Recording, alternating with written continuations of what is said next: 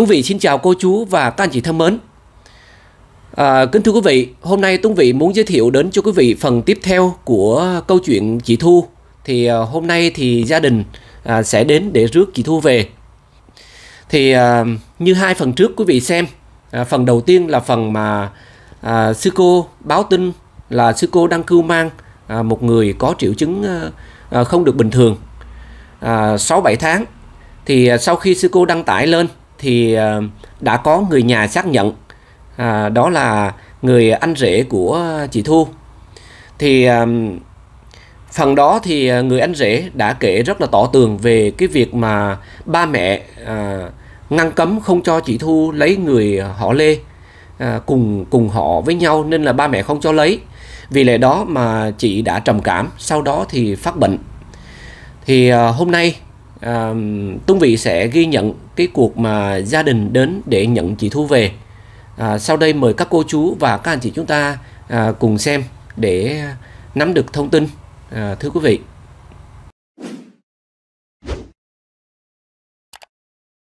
Dạ chào anh. Dạ. À. Dạ. Anh hôm nay ra Dạ, rồi anh hôm nay ra chùa rước uh, chị Thu về đó anh ha.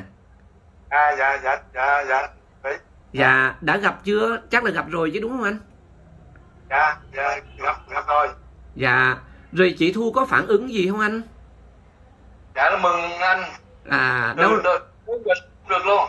À đang ngồi đó đó hả? Cho cho tuấn vĩ uh, quay xa xa ra một chút coi. Đúng đúng đúng rồi. Quay xa xa ra cho vĩ một chút. Sát mặt chị thu quá. À, sát mặt chị thu quá. Chị ơi chị đi đi xa ra thêm chút xíu đi chị. Chị thụt lùi chút xíu đi chị. Chị thu ơi đúng đúng rồi được rồi. Chị thu à? Dạ. ồ nay nay người nhà ra rước chị rồi đó chị vui không? Vui không? Vui không? Dạ đi kêu vui không? Em vui không? Ngọc nó đâu trao thủ tuần vi nè. Trao đi sạch ờ, học. Trao đi nè. Rồi mình quên rồi quên rồi đó. Mình tình như giờ đây quên rồi.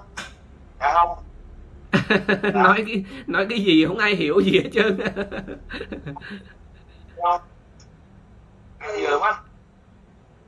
Alo chào chị thu nha. Anh em con đi ở dạ. Rồi cho cho vị nói chuyện với à, anh trai chút xíu. Dạ vậy hôm nay anh à, anh đi với ai đó? Em em là con con con, con thu á lê, lê chị thu là nó thứ 10 dạ. Còn vợ em là là, là thứ thứ chín em là anh rể à. Đây là, đây là bà chị vợ của em bà thứ ba. À dạ. Chào chị em chào chị. Dạ. Dạ chị tên gì chị? À. Vậy thì thưa anh chị là bây giờ chị thu về đó thì là ai là người chăm sóc chị thu? Dạ ở đây. Chị à, coi như là vợ vợ vợ của em là thứ à. chín mà, mà nhưng mà chị thứ ba. Dạ là... rồi tội nghiệp không?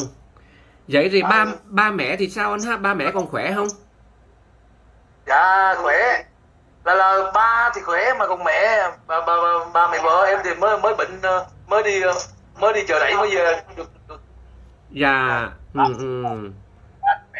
Dạ. dạ. Vậy là bây giờ cũng phải nhờ vào người thân chăm sóc chứ còn ba mẹ thì cũng lớn rồi anh ha dạ, dạ tội nghiệp. Dạ. Rồi cho cho Tuấn Vĩ gặp sư cô một chút xíu ha chị ha. Rồi chào sư cô. Dạ. Nay gia đình ra thì chắc cũng bớt lo lắng rồi sư cô ha. Sư phần năm tại giờ á từ đó nha sư gọi điện cho chúng tôi để mà kết à, chém mà không hỏi sợ gặp nhau thì bực quá dạ. Dạ. Rồi um, con con xin lỗi sư cô là do cái sóng nó yếu đó nên là con nghe không được rõ mấy. Thì bây giờ vậy con dạ con xin ghi nhận dạ con xin ghi nhận cái buổi ờ, gặp gỡ và buổi ờ, giao người này. À, thì à, sư cô thấy sao? Đã đúng người chưa? Có chắc chắn là một trăm phần trăm không? Chuyện là sư yên tâm rồi đó chắc đúng người rồi đó.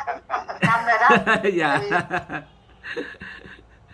Cảm ơn cảm ơn chú tính chi là nhiều hết sư cũng đâu sư lo quá trời bây giờ á là đúng rồi đó đúng người để là là là sư à, bàn giao rồi đó. Dạ vậy đúng người rồi sư ha.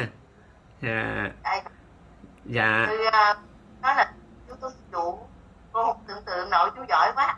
Giỏi rồi sư cảm ơn chú tuấn rồi cộng đồng mạng. Nhiều dạ lúc á đôi người cũng như kỳ vừa rồi sư cũng có tâm sự với chú Tuấn đó là họ cứ nói với sư ơi sư cứ đăng hình lên tìm người lạc đi rồi biết đâu được họ con họ biết rồi họ tới. Thế là sư cũng nói về cái nỗi lo của sư như vậy đó. Dạ. Rồi thôi thì sư đó đây là một cái à, sư nói đây là một cái nhân duyên. Nếu như mà sư cứ cầu nguyện hộ pháp ở đây giao hộ em mà nó nó có cái cái cái duyên lành đó thì tự nhiên xây chuyển người nhà đến. Dạ. Mà không đó thấy không? Xây chuyển người nhà đến. Đúng là cái duyên nó tới đó sư cô. Cái duyên nó tới nên mình mới nhanh vậy đó. Dạ. Dạ. Dạ. Trời ơi lúc đầu tôi Tuấn biết không cô mù mịt lắm đó. Mù mịt dạ lắm. dạ. Là trước khi mà sư cũng đang nói chuyện với gia đình nè trước khi mà sư nói chuyện à, sư sư kết nối với chú Tuấn thì có một cái à, cái cái chú Phật tử này nè đến là thấy sư như vậy thì tội quá thì mới nói rằng là thôi bây giờ là à, sư ơi để con chỉ cho cái chỗ là sư đi chữa bệnh cho cái cô này một trăm phần trăm là cô này là bị tà bị phong nhập đó rồi đi lên để con đi chữa trị đi rồi à, lúc đó là mới gửi là cổ vô trong cái à, cái cái hội bảo trợ gì đó. Dạ. Đó tôi mới đồng ý sư nói thôi bây giờ đó là cũng à, cho cô à, thống nhất là làm cho cô đi đó. Nhưng dạ mà chữa cho chừng nào cổ tỉnh cái đã tạm đi gửi. Đó. Dạ. là, là dự tính như vậy đó. Rồi cái xong cái sau là phật tử cô phật tử này nè cô vô cô nói thôi. Cô à, kết nối bên à, bên mà yêu thương đi chú Tuấn Biểu.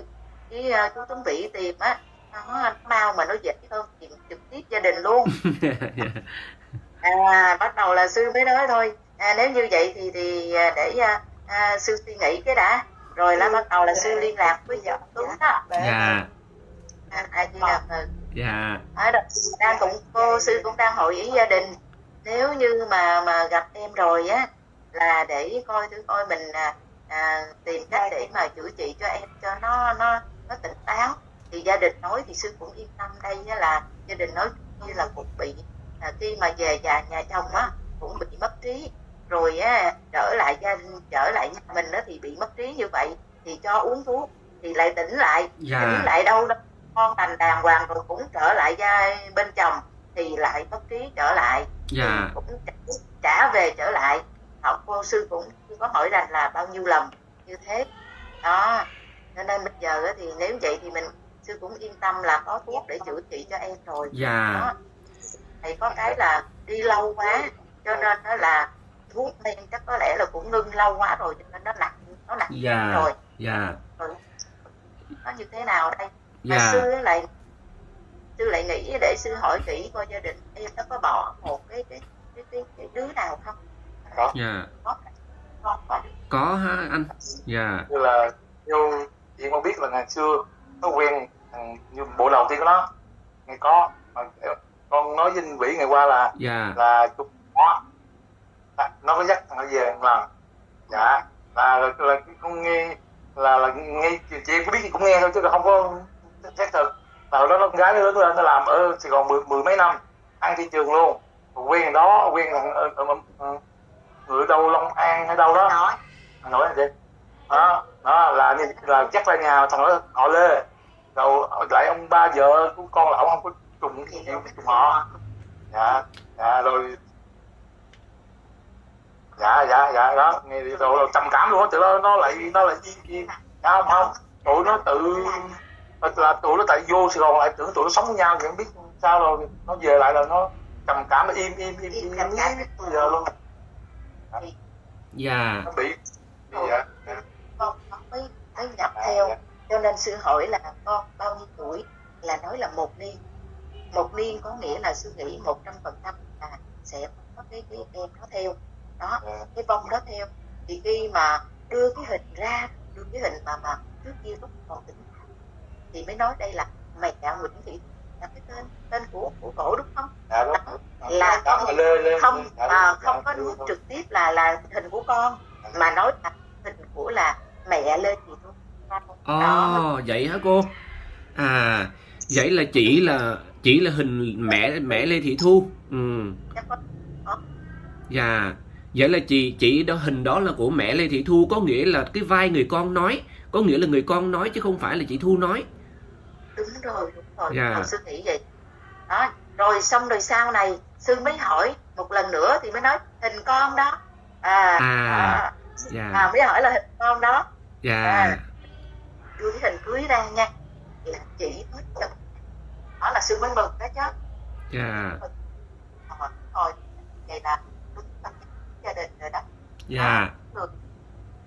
Dạ. cưới là em. À, thưa cô, dạ thưa cô với thưa gia đình là khi khi con nói chuyện thì bên đó có nghe có nghe rõ không? dạ rõ. Rõ À, rồi vậy vậy bây giờ vậy à, con á thì con nghe không được rõ mấy cho nên là bây giờ con xin ít phút để con có một cái ý kiến này. Thì à, mong gia đình cũng như là mong sư cô à, xem xét cái lời ý kiến của con coi thử nó có hợp lý hay không. Là nếu một mai đó mà điều trị cho chị mà chị à, chị cũng có phần hồi phục rồi thì hỏi chị đó hỏi chị là chị có nguyện vọng về chùa hay không? Bởi vì đó là theo vị nghĩ đó là cái sự tìm đến của chị Thu đến ở đây thì cũng coi như là một cái nhân duyên đó chứ không phải là không phải là cái sự ngẫu nhiên đâu nên là nếu ví dụ như sau này mà chị mà có tĩnh tâm được rồi đó nếu chị có nguyện vọng mà về đây mà làm đệ tử của sư cô thì theo Tuấn Vị nghĩ là đó cũng là một cái điều hợp lý. Không biết là gia đình với sư cô thấy như thế nào? Cái ý kiến này có có hợp lý không? Dạ dạ, em em thay mặt cho cho cho cho cho, cho, cho gia đình em em cảm ơn vĩ. Dạ. Rồi em có nói tâm tư nguyện vọng của gia đình gia đình của em tâm tư nguyện vọng cũng vẫn cũng y y y, y, y như như như như anh gì đó. Ồ Tại vậy em- sao? Vậy sao? Có sự trùng hợp vậy hả? À, em có bạch sư. À. à, đình của con là vậy vậy đó. À rồi rồi sao có sao có sự anh nói gì đó. Dạ, sao có sự trùng hợp lạ kỳ vậy ta? dạ. Thì à, cho em gặp sư cô chút xíu. dạ. Dạ, hình như cái máy, hình như cái máy này là phải để gần nó mới nghe được á. Thì à, theo sư cô thấy thứ nhất là con có ý kiến đó và thứ hai hình như hồi nãy gia đình cũng có trao đổi về vấn đề đó rồi hả sư cô? a di đà phật cũng à, nói sơ qua rồi đó Dạ. chú tuấn À, trùng hợp quá ha. một phút là đi chữa trị đó thì Dạ. nói là nếu mà tỉnh táo thì cũng gia đình cũng rất muốn là có duyên thì ở với uh, với sư đó thì Dạ. sư mới nói chứ ừ đó hoàn cảnh sư thì nó cũng neo đơn mà cũng khó khăn lắm nếu như mà em ở đây á em ở đây mà là à, để mà ở với sư mà còn mà mất trí vậy thì ở với sư sư cũng khó lắm Dạ. Dạ. Dạ Đó. đúng rồi, đúng. Con con đồng ý quan điểm đó. Dạ có nghĩa là phải là phải là tỉnh táo, phải là kiểm soát được bản thân. Dạ. rồi đó mà kiểm soát cho bản thân mình tự tự tự mình tự tắm rồi tự lo vệ sinh tự ăn đó nói chung là bản thân cá nhân phải tự tự túc chứ còn ờ, không phải nhờ bả tới xưa nữa Dạ. đó Dạ. thì, thì được chứ còn mà tư mà phải lo vừa mà vừa mà lo lo, lo ăn uống đúc rồi vừa lo tắm rửa đồ này kia cũng cực quá đi Dạ, đúng chính xác. Dạ, bây giờ sư cũng còn nhiều việc để làm rồi để tụng kinh rồi mọi việc nữa mà phải ờ, chăm sóc ờ, cho chị nữa thì đó là một cái gánh nặng thật sự là như vậy. Nên là qua cái câu chuyện này đó thì là à, con con là người ngoài cuộc, con chỉ, chỉ chứng kiến thôi nhưng mà con rất là cảm phục về cái việc mà ừ, trong thời gian qua cô đã nuôi nấng, cô đã cưu mang chị thì à, thật sự là ừ, cộng đồng cũng rất là cảm kích về cái điều đó. Con rất là cảm ơn tri ân cái cái cái ờ, lòng tốt của sư cô đã cưu mang chị sư à, đối với sư là sư à, cũng rất là cảm ơn của tuấn vị của tuấn vĩ cái cộng đồng mạng đã à, đã đã đồng hành với với, với chú là những ngày qua đã tìm được cho em nó để cho sư yên tâm có một cái gốc ghét tại vì khi mà tới đây chú biết không? Gặp như người ta đó người ta không nhận đâu. Dạ. Lắm. À, rồi sư thấy thứ nhất là sư thấy quá mịt mù nè. Phải chi mà biết người thân một tí xíu manh mối gì mình cũng ờ, có chuyện gì thì gọi người thân đến mà mình nói đúng không? Thằng này là coi như là không biết người thân ở đâu hết mà mắt là sư thấy là quá sức tội nghiệp cái thân thân nữ nữa con Dạ. gái đoạn đường than ngoài đường Dạ. là cái điều đó vào cái tâm trí sư là thấy tội nghiệp trước cái đã Dạ. sư mới cho đây đó đó nếu như mà, mà gặp như là những người khác sư nghĩ rằng nhà nhà mỗi người mỗi gia đình họ sợ lắm họ không bao giờ dám cho những người lạ như thế này ở đâu Đó. Chỉ có này là ờ, đúng rồi chỉ có những cái nơi chùa đó mà mới cho ở thôi nhưng mà chùa nào sư nghĩ cũng cũng bây giờ sư, sư không có dám nói nhưng mà sư nghĩ chắc họ cũng sợ lắm cũng không dám cho ở đâu Dạ. Nói chung là kiểm soát được thì còn đỡ, còn không kiểm soát được thì rất là e ngại về nhiều mặt cô ha. đúng rồi Dạ. cái nhân duyên thì thôi cũng là cũng đây là một cái nhân duyên đó thì để à, để sư bàn với gia đình kỹ thêm rồi nếu như mà em nó rồi xong rồi nếu mà nó có duyên đó nó ở với sư nó ở. Nhưng mà chú Tuấn biết sao không? Hồi xưa cũng mấy lần gặp vi chập bẫy với em á chứ tại vì sao? Em ở đây có yên thân ở đây không? Em bỏ em đi em trốn em đi thậm chí mà sư đi tìm từ đầu làng tới cuối làng. Gặp như là bỏ rồi đúng không? Có nhân duyên tới chùa mình thì tới không đi. Đằng này á, phải đi tìm đó. Đi Dạ. tìm trong rừng trong ruốc sư đi tìm sư sợ rồi qua đêm hai ba ngày cái thân gái mà qua đêm rủi rồi cũng không có đi luôn mà quay về với sư nữa. Rồi xin lỗi nha sư xin lỗi sư nói câu rủi rồi mang bầu mang bì rồi. Trời ơi ở trong chùa sư nuôi nữa rồi sao? Dạ. Dạ. sao vậy đó? Rồi phật Dạ. tử cũng lo cái cô phật tử tội lắm. Đây cái cô mà gửi mà gửi tin tới uh, chú tướng vị cho sư á. Nói sư ơi, lo cho sư quá mà anh anh ta phải đi kiếm về thử thai Dạ, vậy đó hả? Dạ, tội nghiệp Dạ, không? Dạ.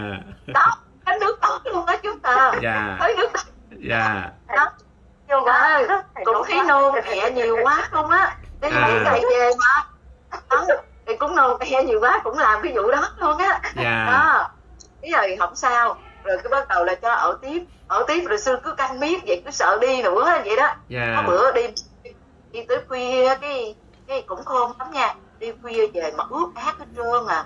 Cái xuống cái gia đình đó cái mới biết là ừ cái cô này là ở trong sư nè. Cái bắt đầu là để sáng mai rồi rồi dẫn lên. Nhất định không chịu về sư phụ cho bằng được. Ngay cái đêm đó là đúng 12 giờ. Dạ. một 12 chó sủa quá trời cái mới đưa lên sư đó.